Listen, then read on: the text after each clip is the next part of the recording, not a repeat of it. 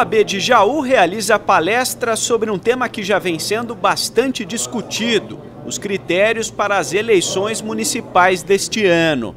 O evento ocorreu na sede da entidade e lotou um dos auditórios. A palestra foi ministrada pelo advogado, professor e diretor do curso de Direito da PUC de Campinas, Dr. Peter Panuto. Entre os principais temas abordados estão a perda e suspensão dos direitos políticos e as causas de inelegibilidade, provocadas, por exemplo, pela lei da ficha limpa. Um prazo mínimo de oito anos.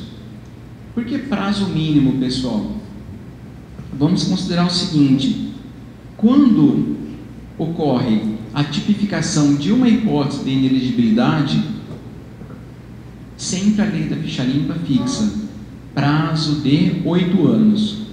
Só que vamos pensar o seguinte, pegando o exemplo da condenação por improbidade administrativa.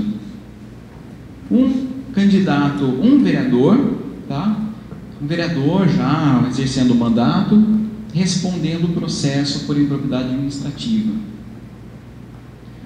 Sentença por juiz da comarca aqui de Jaú. Depois, a sentença, essa, sentença condena este vereador por improbidade administrativa. Este vereador apela da sentença e o recurso da apelação é julgado pelo Tribunal de Justiça de São Paulo. O TJ de São Paulo mantém a sentença, nega provimento a recurso de apelação, condenando, portanto, esse vereador por improbidade administrativa. Ok? Na medida em que já há condenação por órgão colegiado, já caracteriza a inelegibilidade da lei da ficha limpa. Tá certo? Vamos imaginar que o prazo que o juiz fixou de suspensão dos direitos políticos na sentença ali de improbidade seja de seis anos. Tá? Olha só o tempo que esse vereador vai ficar inelegível. Imagine que a, a, o acordo da apelação é proferido agora em 2016. Ele já passa a ser inelegível, ok? Órgão colegiado. Ele pode interpor, esse vereador, ele pode interpor recurso especial, recurso extraordinário. Ah, esse processo vai transitar em julgado daqui 10 anos, vai? Ok? Pessoal, ele passa a ser inelegível a partir do momento em que há condenação transitada em julgado, aliás, que há condenação por órgão colegiado, tá? Ele vai ficar todo esse período de 10 anos o trâmite processual inelegível e depois que transita em julgado começa a contar o prazo de 8 anos. Então, nesse exemplo, ele teria 18 anos de inelegibilidade, tá?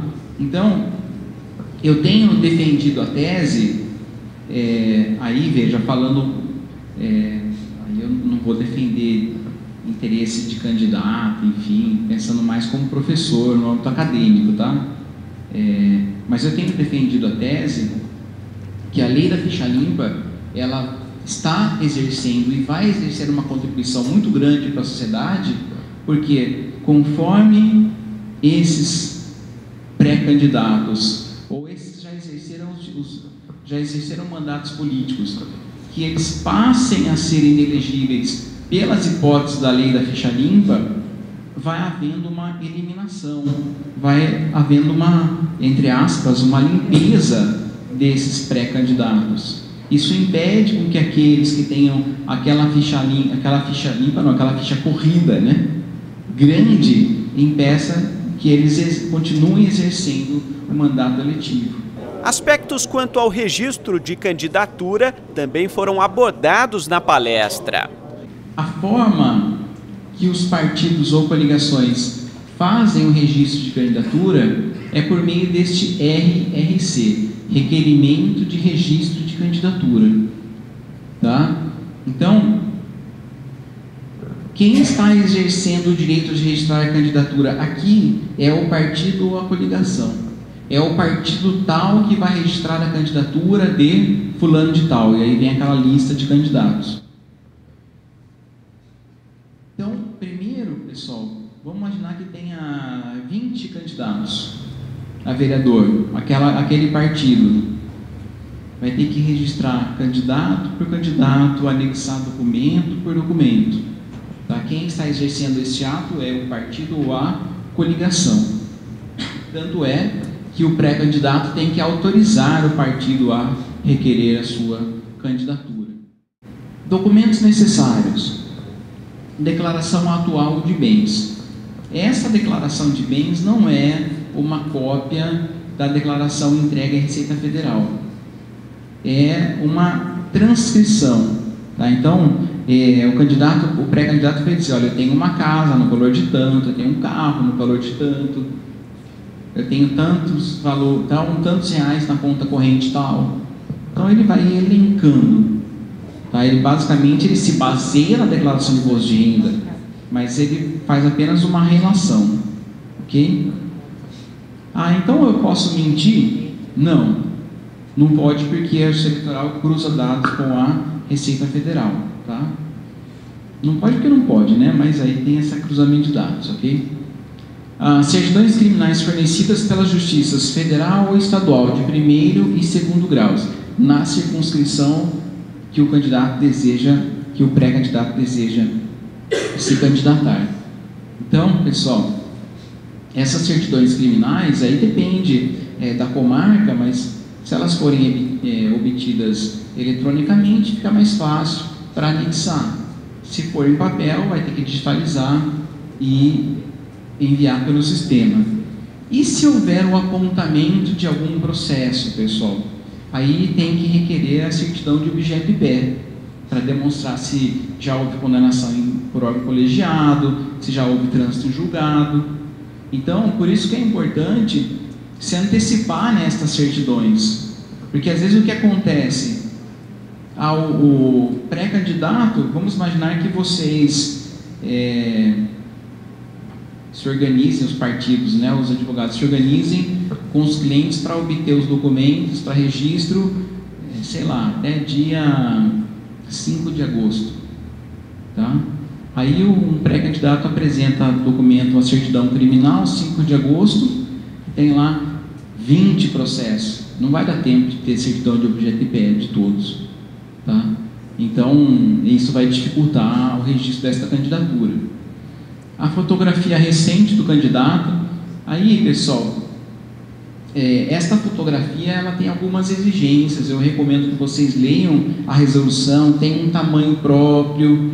É, eles dão preferência para fotografia preto e branco.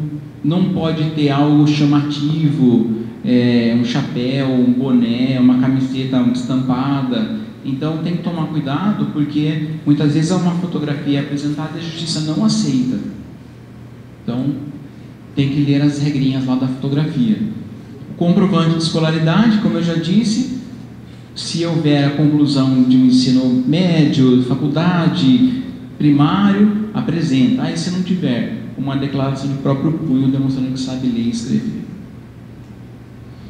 A prova de desincompatibilização. Então, Lá na lei das inelegibilidades, tem um rol de circunstâncias que o, o, aquele que exerce um cargo público, aquele que exerce uma representação é, num órgão de classe, ele tem um prazo para deixar esta função, isto é, a desincompatibilização. Tá? Então tem que demonstrar que houve essa desincompatibilização no prazo exigido. Aí, pessoal, há também é, certidões eleitorais. Como a justiça eleitoral ela é toda informatizada, agora não há mais necessidade de juntar essas certidões eleitorais. A própria justiça eleitoral já tem acesso aos, às informações. Então, a filiação partidária, quitação eleitoral, inexistência de crimes eleitorais, o próprio TSE, na medida em que recebe o pedido de registro de candidatura de um pré-candidato, ele já cruza as informações. Esse cara que tem crime eleitoral, ele é filiado àquele partido. Tá? Antigamente a gente tinha que pegar uma certidão em papel na lista eleitoral e depois juntar no processo de registro de candidatura. Agora há um cruzamento de dados. O que pode acontecer, pessoal, é durante o processo de registro de candidatura aquele pré-candidato apresentar um crime eleitoral. Aí o juiz eleitoral informa no processo e fala: olha, pré-candidato, eu, juiz eleitoral, tive acesso a essa informação aqui e o pré-candidato vai ter que juntar, vai ter que, vai ter que conseguir uma certidão de objeto para verificar e demonstrar que ele tem condições de se candidatar. Com perfil esclarecedor, a palestra agradou o público, formado por advogados, políticos, representantes de partidos e possíveis pré-candidatos. Representando a Câmara Municipal, estiveram presentes o procurador jurídico do Legislativo e o vereador João Carlos de Toledo. Eles fizeram uma avaliação do conteúdo apresentado. Então é muito importante esse tipo de palestra para conscientizar todos a vocês que são pré-candidatos a vereadores e nós, vereadores, atuantes no momento. Sobre as leis e as novas diretrizes, pelo fato que foi mudado algumas diretrizes das leis é, referente à candidatura de vereador.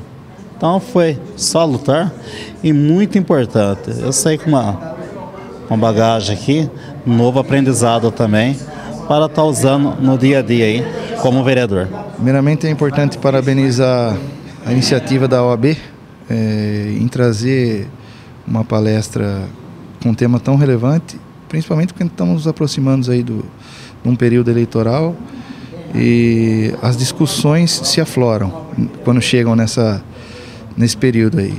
E o tema trazido, abordado pelo palestrante hoje, é, é de extrema relevância até para nós, é, na, na Câmara Municipal, né? É, uma questão que chama bastante atenção é, é relacionada aos prazos. Os prazos é, nessas, no direito eleitoral, eles têm um, um, rito especial, diferente do que nós estamos acostumados a lidar no direito civil, por exemplo. E esse tema foi abordado aqui e nos chamou bastante atenção. Ao final da palestra, o advogado Dr. Peter Panuto ainda conversou com a nossa equipe e destacou as principais alterações no processo eleitoral deste ano. Olha, eu penso que essas eleições têm algumas mudanças impactantes, tá? A primeira delas já é aquela maturidade na aplicação da lei da ficha limpa. Então já há uma, uma diferença na, na, documentação que tem que ser apresentada para requerer o registro de candidatura, a limitação também na forma de aquisição de doações eleitorais, né, na medida em que é a proibição de doação eleitoral por pessoa jurídica, a diminuição no período de campanha eleitoral. Então, essas mudanças elas foram feitas propositadamente numa eleição municipal como teste para a eleição nacional que vai ser a próxima em 2018. O senhor acredita que de fato essas eleições elas vão servir como um modelo aí para os próximos anos, doutor? Não, entendo que sim. Esse, essa diminuição no período de campanha eleitoral, ela existe para que haja uma diminuição nos gastos de campanha. Tá? A, a, forma que havia antes um gasto milionário, isso não é compatível com um país que ainda está em desenvolvimento. Né? Então, os, os candidatos eles têm que se adequar a essa nova realidade, campanhas mais baratas, utilizando do, da internet, que é uma forma barata e muito eficiente de propaganda eleitoral. Na entrevista, o advogado também falou sobre os cuidados que os possíveis candidatos devem tomar na hora da propaganda. Na internet, a, a, a, propaganda eleitoral ela é permitida. Tá? Então, o candidato ele pode ter um site próprio, pode ter um perfil no Facebook, utilizar as redes sociais de um modo geral, WhatsApp, Instagram, enfim, tá? Isso de acordo com a assessoria dele, o que ele entender melhor. Com relação aos sites, ele não pode fazer propaganda em sites pagos. Então, em grandes sites como Terra, IG, Globo, isso não pode haver propaganda eleitoral, tem que ser um site próprio do candidato. No envio das mensagens por e-mail, é, WhatsApp, é, ele é pode haver propaganda eleitoral por meio dessas mensagens, mas tem que haver um mecanismo do cidadão poder se recusar a receber mensagens futuras. Então, se o cidadão está numa rede de contatos daquele candidato, ele tem o direito de sair dessa rede de contatos. Quando houver já o período de propaganda eleitoral, que é de 16 de agosto em diante, o pedido de voto é possível também na internet. Nesse período pré-eleitoral, não pode haver pedido de votos, apenas uma divulgação da pessoa, daquele que deseja se candidatar.